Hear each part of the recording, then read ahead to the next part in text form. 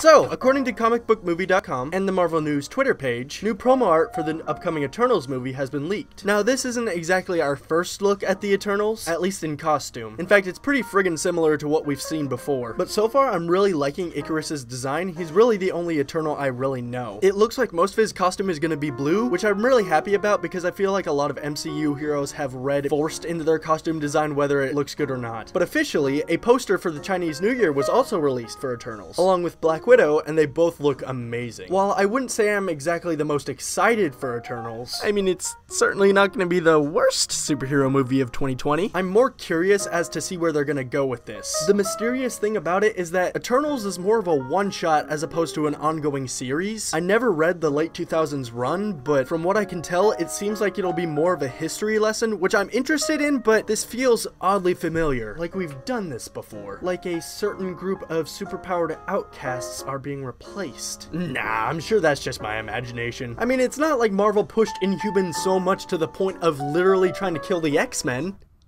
Right? But what do you guys think? Let me know what you think in the comment section below. I've been MufMDs, and I'll see you guys next time for more comic book news, animations, and reviews. Y'all have a good one.